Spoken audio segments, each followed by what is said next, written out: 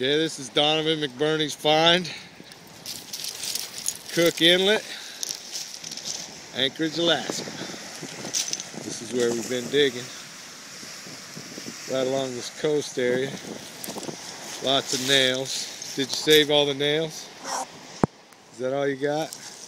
Yeah. I thought we got more. I know. Where's the Where's the bottle cap? We didn't keep that stuff, Dad. We didn't. Let's see. All right, tell them what you got. Okay, I got this rusted. Corroded. We're not quite sure what it is actually. Probably brass or something because it's corroded like that. Uh-huh. And I got a 1965 Centavos. It has a 20 in the top. It is from Mexico. Good find. Got a one set Canadian piece from 1940.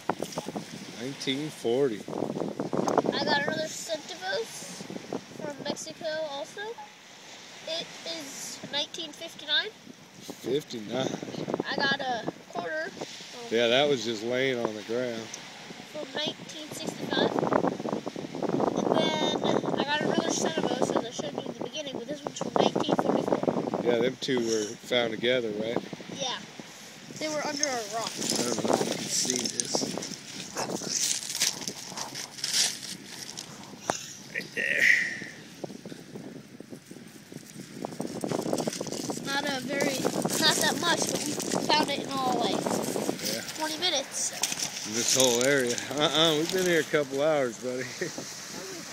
It seems like 20 minutes. This is the old earthquake area where the 64 earthquake shook these houses. Find a lot of nails, garbage, scrap. Sammy's got rocks.